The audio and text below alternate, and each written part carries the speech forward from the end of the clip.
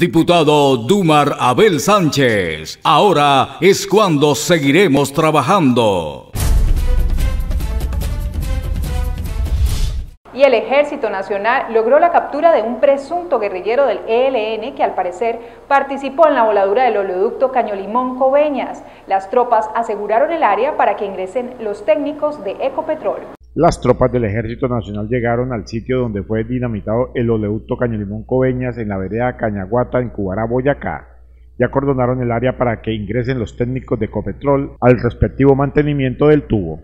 Sí, ya desde el de ayer las tropas se encuentran sobre el sitio donde sucedieron los hechos. Eh, con nuestros grupos es de Delta ya se revisó el área, de que no hubiera más explosivos sobre el sector y ya se garantizó que entraran las cuadrillas para efectuar la respectiva reparación. Esperamos mañana en las horas de la tarde ya tener eh, lista eh, con las cuadrillas de Copetrol reparada el tubo. El comandante de la Fuerza de Tarea, Quirón, confirmó la captura de un subversivo que al parecer participó en la voladura del oleoducto Cañelimón Coveñas. Sí, en el municipio de Arauquita se capturó el sujeto alias Daniel, un integrante del Frente Domingo Laín Sáenz, que participó en la voladura del oleoducto.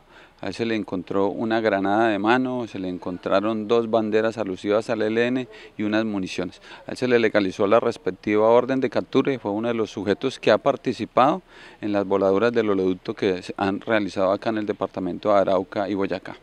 El alto oficial señaló que sus hombres realizan operativos en todo el territorio del departamento de Arauca para contrarrestar a los grupos al margen de la ley. Sí, continúan las operaciones contra los diferentes grupos armados organizados, contra el ELN, contra el GAO residual. Y pues eh, todas las tropas están eh, desplegadas en toda la jurisdicción con el fin de, garantizar la seguridad.